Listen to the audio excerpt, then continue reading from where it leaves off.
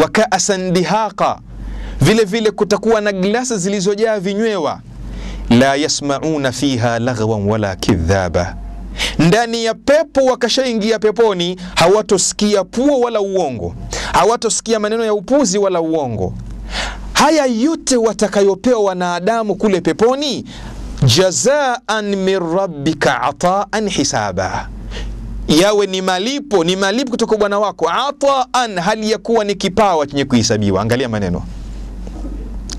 Kwa hiyo sisi tukenda kule peponi, Mwenyezi Mungu akitutia ndani ya pepo, akitupa neema zote zilizoko peponi, neema ambazo Bwana Mtume sallallahu alaihi wa ale ametuambia katika hadithi zake kwamba ndani ya pepo fiha ma la ainun ra'at wala udhunun sami'at wala khatara ala qalbi bashar, ndani ya pepo kuna vitu ambavyo jicho halijawahi kuona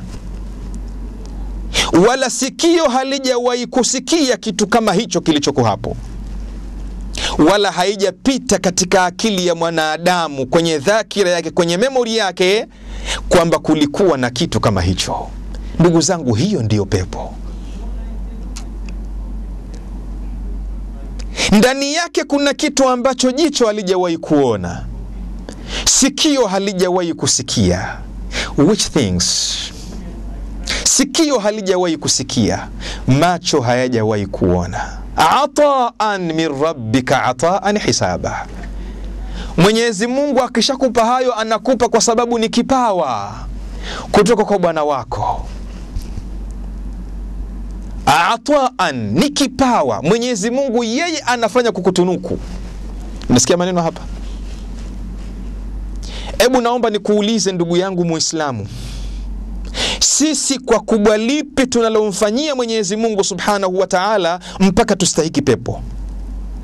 Kama siyo ataan, kama siye Mwenyezi Mungu huruma yake kwa tabu yake uliofanya. Kwa swala zetu za dakika tano tunazoswali dakika mbili kwa sala zetu za naklul ghurab za kuswali kama vile kunguru kudonoa, ndiyo swala hizo Mwenyezi Mungu akutunezo peponi? Kwa swala zetu ambazo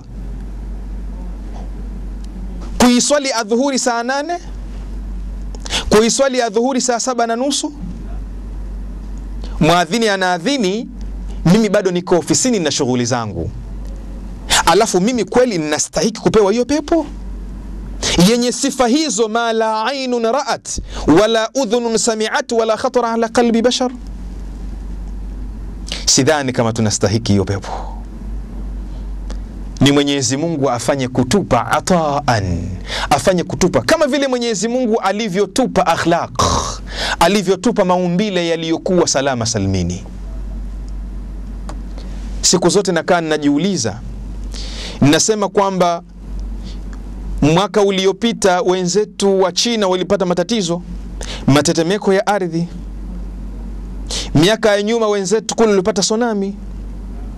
Hivi sisi na wale waliopata sonami, sisi na wale waliopata tetemeko la ardhi, sisi ni kwamba tulimridhisha Mwenyezi Mungu, ndio maana tetemeko halijatufikia sisi? Ni kubwa lipi tulimfanyia Mwenyezi Mungu Subhanahu wa Ta'ala mpaka Mwenyezi Mungu asituletee tetemeko akawapelekea watu wengine? Kubwa lipi Mwenyezi Mungu tumemfanyia? Kwa hivyo ataan ni kipawa. Kwa hivyo ndugu zangu Waislamu, ndugu zangu wasikilizaji na waangaliaji, nasema kwamba akhlaq, tabia nzuri ni ata, ni kipawa, ni zawadi Mwenyezi Mungu Subhanahu wa Ta'ala amekupa. Zawadi hiyo usije ukafanya ukayaharibu katika dunia hii. Zawadi hiyo jitahidi, ndugu yangu Muislamu, uwe nayo. Jirani yako jaribu kumtembelea, jaribu kuangalia hali yake. Unaposikia jirani yako anaumwa, nenda ukamtembelee.